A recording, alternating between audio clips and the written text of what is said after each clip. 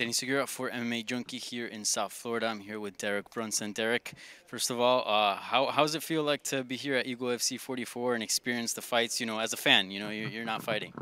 It's good. You know, they got a lot of high profile guys, a lot of up and comers, you know, kind of the next generation. So it's good to see some of that talent, you know, firsthand. When you're watching fights as a fan, I mean, do you get the itch a little bit as a fighter? Yeah, I mean, I like to when I'm watching as a fan, I like to sit back and just enjoy. You know, I, the loud thuds of the gloves and stuff like that. You know, so yeah, it's a good thing for sure just to watch sometimes. Awesome, and you were supposed to fight against uh, Jared Cannonier at UFC 270, which just recently passed. The fight got moved to UFC 271. Um, what what happened? Why, why did they change that? Um, the UFC, I think they just wanted back up for the title fight in case somebody went down, got injured. They had two guys, uh, 85ers, three and four ranked guys that can jump in for a title shot. Yeah. So you're open to, if it comes down to it, like if, if somebody pulls out between Robert Whittaker and Israel Adesanya, you're down to fill in if, if the opportunity arises? Oh, yeah, for sure. You know, I, have been waiting on the opportunity um, five in a row. You know, I've been waiting for that title shot. So, yeah, you know, if the opportunity come up, for sure. So I'm assuming you were stoked when the UFC, you know, brought this to the table. Well, I was more stoked because I got an extra week at home or extra ten days at home with my kids before the for the holidays, you know. So I was happy about that. So I, that's why I didn't cause a stink. I was like, cool, no big deal for me.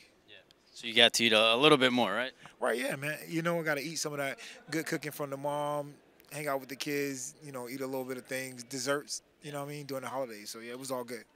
And thoughts on, on Cannonier? Obviously, he's a top guy. Um, you know, he did have some setbacks somewhat recently. Uh, what are your uh, assessment overall as him as an opponent and his standing in the division?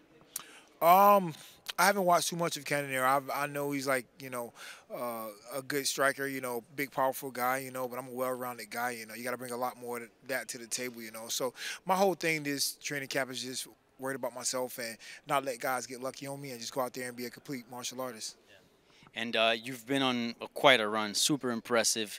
Uh, what's been the secret, man? What's sort of been the, the click that has sort of uh, propelled you to this very impressive winning streak? It's the blonde Brunson. You know, the whole aura. You know, we don't we don't lose. We undefeated. You know, when you got the blonde vibe, everything is all good. Yeah. So like, what does it does it improve your wrestling IQ? Like, what's what's the the the meaning there?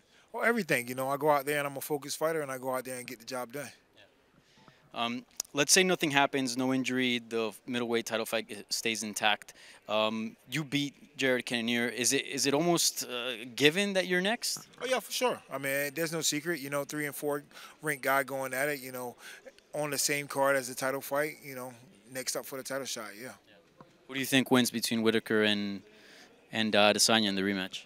That's a good question. You know, um, I can see Whittaker winning, but if I had to pick, I'd probably say Izzy repeats and wins and keeps his title. You know both of them very well.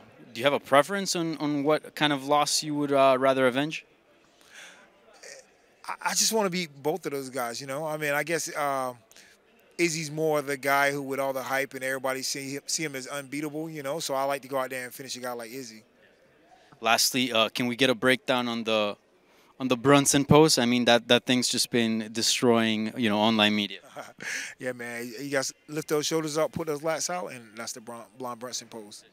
All right, Derek. Well, I appreciate the time. Best of luck at UFC 271. Looking forward to your fight. Thank you. Thanks for having me.